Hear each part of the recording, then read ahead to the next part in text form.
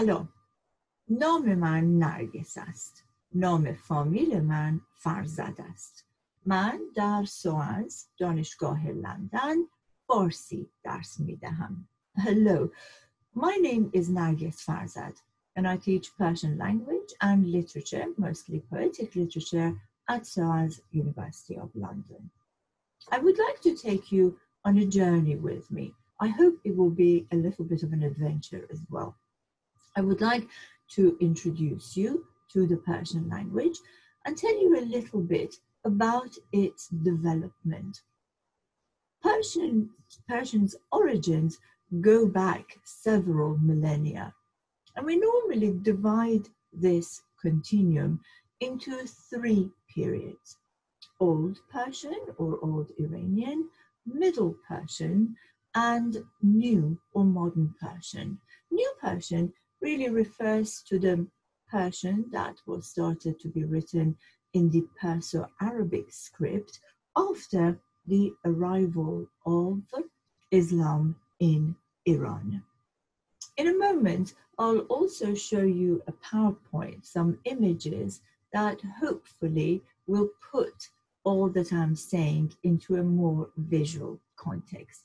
But first, a little bit about the place of Persian amongst the languages of the world and its place in the heart of Europeans.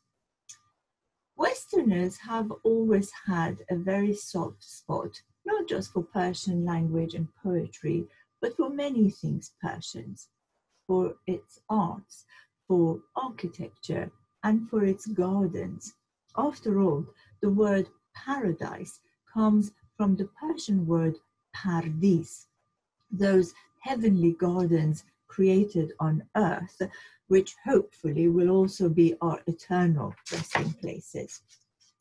In June 1853, Friedrich Engels, who was living in Manchester at the time and who was also a prolific writer, wrote a letter to his friend Karl Marx, who was living in London. And he, Frederick, tells Marx that he has just started learning Persian. He says that for the purpose, he has been using a grammar book that was written by the 18th century judge and philologist Sir William Jones. Frederick Engels concludes that in comparison to several languages that he had attempted to learn, Persian is really a child's play. And he tells Marx that he hoped to learn the Persian grammar in 48 hours. However, he does admit that coming to grips with learning the Perso Arabic script is a lot more challenging. And he says that had it not been for this fairly complex script, Persian would indeed be an ideal candidate for a universal language. And there it is already made. I mentioned uh, the 18th century William Jones. He was indeed a linguistic genius.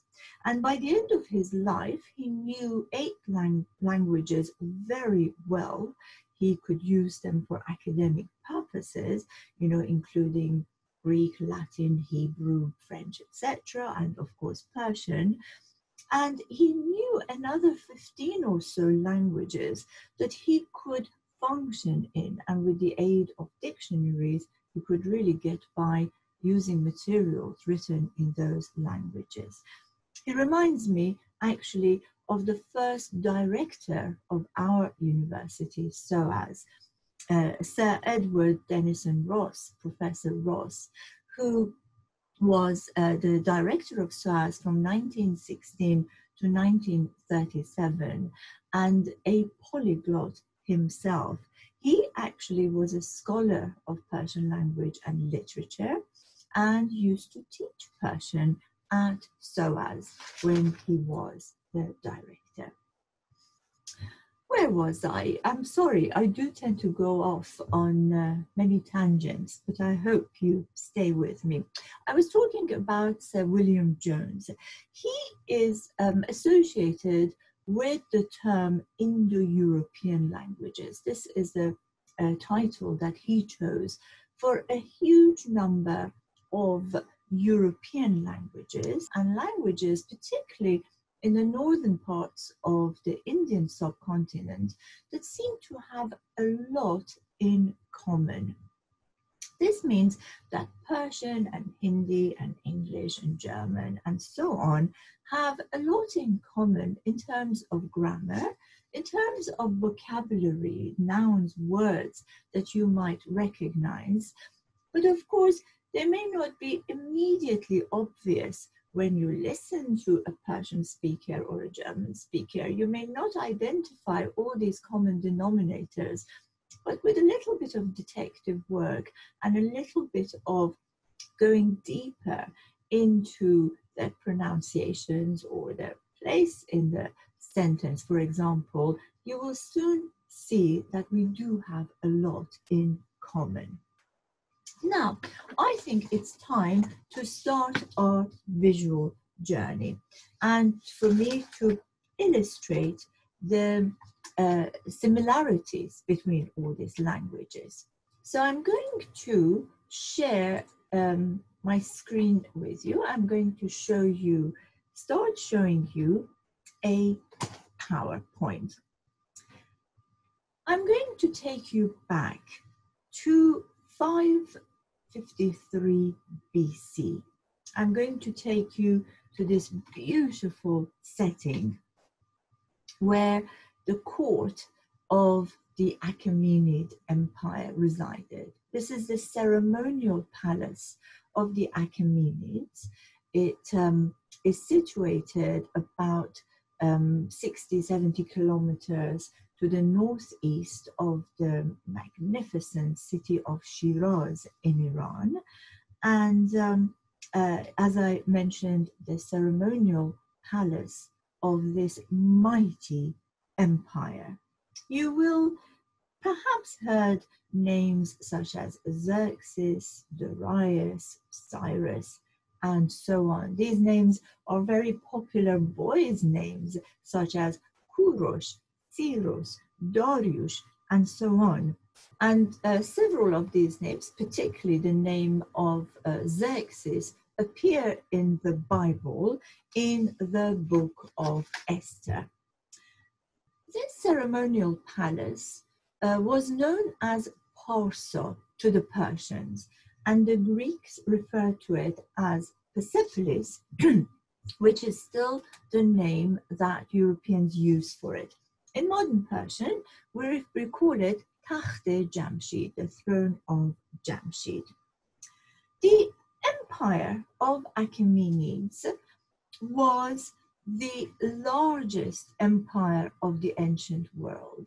And I've chosen one of the many uh, reliefs on this, on the remains of this monument, to show you so many features that are associated with the Persianate culture, bringing gifts, love of beautiful ornaments, love of uh, celebrations and food and culinary culture and animals, and of course, all the ceremonial dress and all the attributes of a mighty court.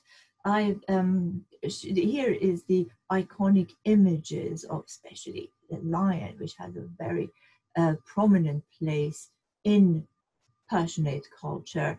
And I wanted to draw your attention to these other images. These are maybe the representatives, ambassadors, the princes of many vassal states coming up for a ceremony, bringing gifts. And here are uh, the image of them all holding hands mostly to demonstrate the peace and um, mutual respect that ruled over this empire. Here is a map that shows the expanse of this world at its largest. Um, it uh, covers huge parts of the Indian subcontinent, Central Asia, of course, modern day Iran, bits of the Caucasus, um, bits of Mesopotamia, chunks of Anatolia, and North Africa. Uh, you can imagine how multilingual and multicultural such a vast empire would have been. But the languages of officialdom, officialdom were um, uh, Old Iranian, Old Persian, uh, which was written in cuneiform, uh, similarly to other ancient Near Eastern languages like Akkadian, for example, the language of the Babylonians. But uh, Iranians used uh, Greek for inscriptions on their coinage. Uh, the Cyrus cylinder had a very popular visit to Iran over 10 years ago. The object is um, currently at the British Museum. So it went to Iran um, in 2010 and was there for several months with queues of people coming to see it. And then it also had a very successful tour of several United States um, states and museums about 2013, if I'm not uh, wrong. Uh, Cyrus Cylinder is often referred to as the first charter of human rights because the inscription on it, written in Akkadian, um, refers to the necessity of allowing the citizens to exercise freedom of religion, freedom of speaking in the language that they are associated with, and uh, generally having respect for multi-faith, multi-cultural societies. This period is also associated with the Greco-Persian wars, the rivalry the, between the two mighty empires, the Persians and the Greeks, and the downfall of the Achaemenids is um, uh, uh, associated with the arrival of Alexander not so great, if you don't mind me not calling him Alexander the Great, but call him Alexander the Macedonian, who invaded, conquered Iran, and um, also, it is alleged, set fire to the Persepolis, which was destroyed very rapidly due to all the textiles, all the timber, and so on that was used in that palace. The uh, language, as I told you, was the cuneiform, and here is an example of it. Many examples can be found in museums around the world, and of course, on the monuments and rock reliefs in the region. The coinage uh, was a very important part of the might of the uh, ruler, and as I said, the inscriptions are often in the Greek language. And um, there are many examples of these coins at museums all over the world. The next prominent rulers who arrived uh, on the scene were the Parthians, the magnificent, dynamic Parthians, who ruled over a vast region, albeit, as you see from the map, a more uh, shrunken empire compared to the Achaemenids. And they ruled over uh, Iran from uh, 247 BC to 224 AD, which is almost 500 years.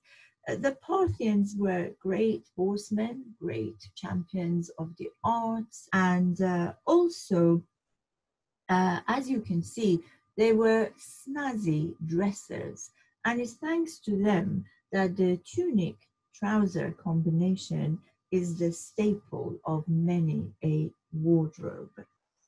Uh, with the Parthians, um, uh, we move more towards the emergence of Middle Persian as the language of the empire. To begin with, uh, Greek, Imperial Aramaic, and Hebrew, and so on, um, were more used. And as you see in the uh, coinage, gradually mid- Middle Persian emerges, but The inscriptions again are in uh, Greek. There are very significant um, images on this coinage, but perhaps discussion of them can wait for another time. Parthians loved beautiful objects, and uh, their love of ceremony is very prominent in this um, you know archaeological material that again are displayed all over the world in museum. This is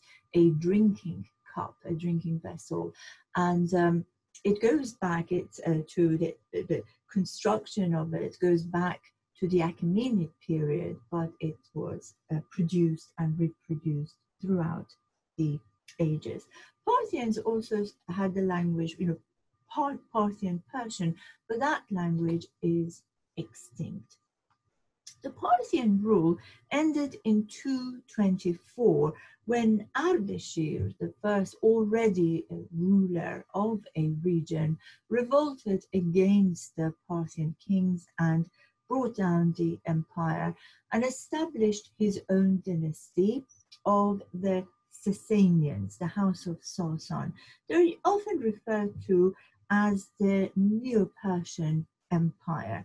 And their end came with the arrival of the Arab Muslims in Iran in 651 uh, AD. Again, you see from the map that here the uh, immediate enemies, rivals, are not the Greeks, but the Romans. And here are the rule of the Romans on the eastern edges of the empire. The language of the Sasanians is the uh, um, Middle Persian and um, is written in the Pahlavi script. This is a very famous um, rock relief near uh, and you will see Shapur, uh, the mighty finder of dynasty, and he is um, uh, looking at the emperor Valerian, who is kneeling beside Shapur's horse.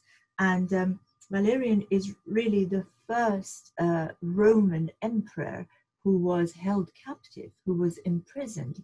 And this really sent shudders down the spine of the Roman military and administrators and really shook that empire. Uh, Sasanians, again, here there's another image. You will see the headwear is changed and there is a relationship between church and state. Here is the king receiving, here's the king on the left, receiving a diadem, if you like, a mandate from the representative of the divine to rule on his behalf. Here are examples of the Pahlavi script, and you can see it's becoming much more sort of, you know, curly whirly and it does look also not dissimilar to Syriac or uh, Royal Aramaic. And uh, more coinage from this period. And you can now see that the inscription is in Middle Persian.